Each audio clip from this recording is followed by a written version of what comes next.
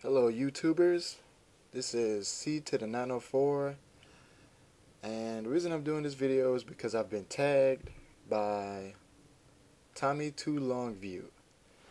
He's a pretty cool guy, he has, does really good stop motion videos and waiting for him to complete the whole thing. So looking forward to that.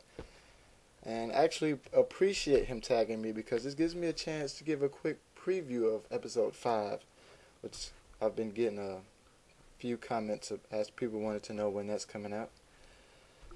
Okay, so let's get to my first fact. I've, I've seen a couple other people do their videos from them being tagged, so I'm already familiar with the way it works. Okay, my first fact is that I love RPGs. Ever since I was little, running shooting games don't really interest me much. I lose, I get bored very quickly with them. But for some reason, about 95% of the games I own are RPGs or adventure games. Fact two is the very first game I ever played was on the NES was Legend of Zelda. And I've been in love with the series ever since. I'm a Zelda fan to this day and forever will be. Ocarina of Time is still the best, although Twilight Princess was just a little bit. Ah, they just couldn't quite get it. Ocarina of Time was a classic. Can't beat it. A third fact would have to be a lot of people don't know is that I enjoy Filipino R&B music.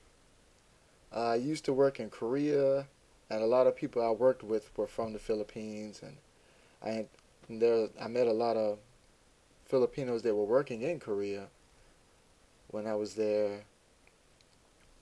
So I don't know, they kind of got me turned on to it.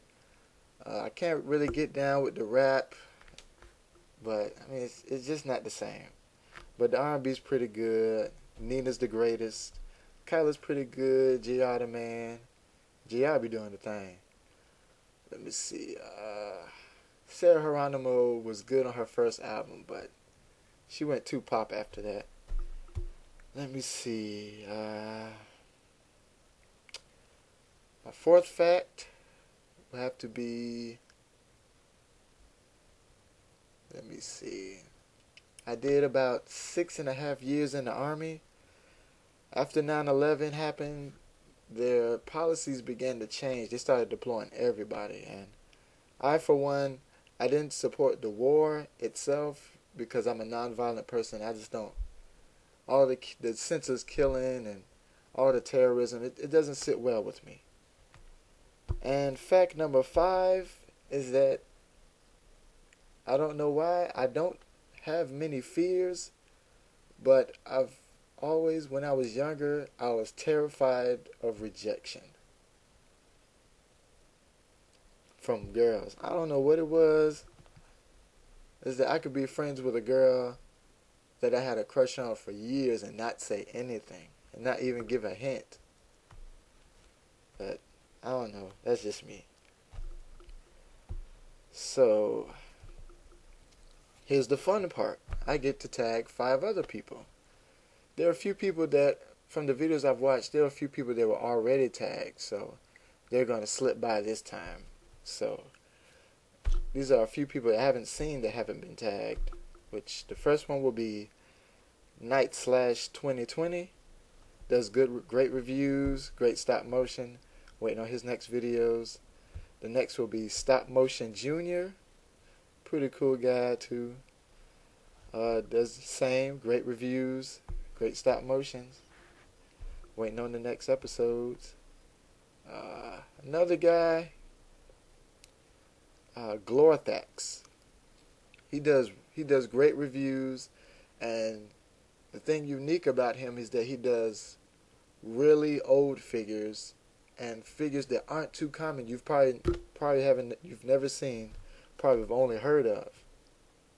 So check out his reviews; they're pretty good. Uh, you might learn something. I know there's a couple of figures I, I didn't even know existed. Uh, another my next one, I think this is number four, Nova Blast 101.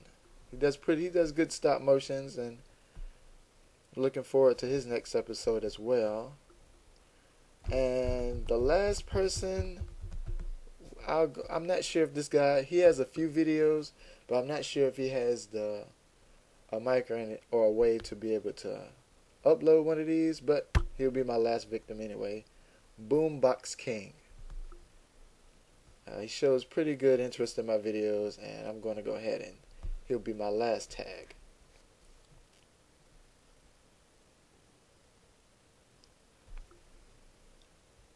I would tag Zalvin360. He's a cool guy. Shows a lot of interest in my videos. Very supportive and. But I'm not sure if he has the capabilities to make a video. So slipped by this time. But it's cool. Okay. On to my episode 5 preview. Uh, I'm not going to reveal too much about the story itself because you just have to wait to see it to see what's happening. But I will say that yes, Starscream is attempting to form his own faction of Decepticons to in an attempt to overthrow Megatron. But I just wanted to show off a figure. There's a figure I wanted to show off ever since episode two, but I didn't want to just throw him in there and then disrupt the whole flow of what I was going with. So, you're already familiar with this guy, Starscream. He will have some henchmen.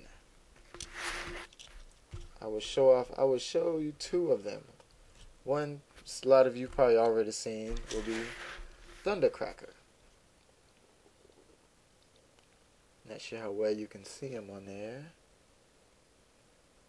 But I've seen the reviews of this guy, so you've seen him before. But this last guy is that of all the reviews and everything I've seen, nobody has this guy. So I mean, I haven't seen or heard anyone attempting to do this, but I have a custom painted Skywarp. I had to outbid a few guys to get this one. So I did not repaint this myself. I want it.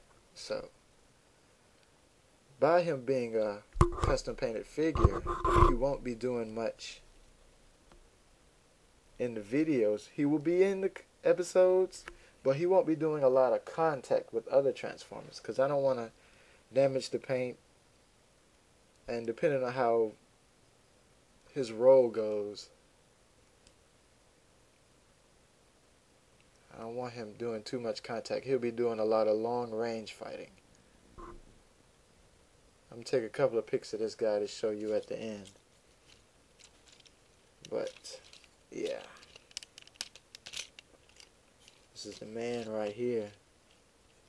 Has a little Decepticon symbol there on his wing, if you can see that. Yeah. So yeah, I'm pretty proud of this guy. He's been hiding out. I wanted, couldn't show him off quite yet, but hey. There you go. Skywarp, Thundercracker, and Starscream. Seekers reunited. So you guys take care. And I look forward to seeing the videos from the guys I've tagged. You guys take care. Check out Greatest of All Prime. Have a nice day.